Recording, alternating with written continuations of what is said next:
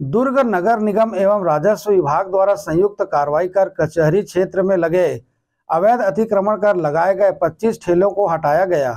दुर्ग शहर में इन दिनों सड़क किनारे लगे अवैध गुमटी ठेलों सहित आवागमन को बाधित कर रहे स्थलों का निरीक्षण कर अवैध काबिज जगह को कार्रवाई कर खाली कराने की कार्रवाई की जा रही है।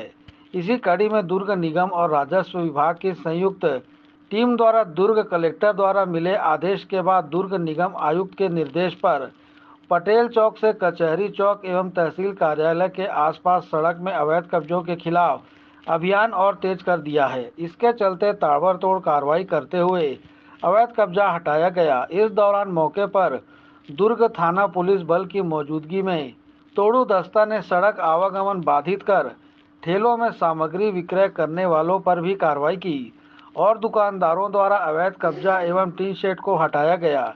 इसके साथ ही सड़क पर अतिक्रमण करने वालों को अंतिम चेतावनी के साथ राजस्व विभाग और नगर निगम ने नोटिस थमाकर समझाइश दी।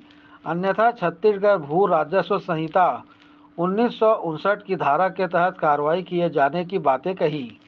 ग्रैंड एशियन न्यूज़ के लिए दुर्ग से नसीम फारूकी की रिपोर्ट।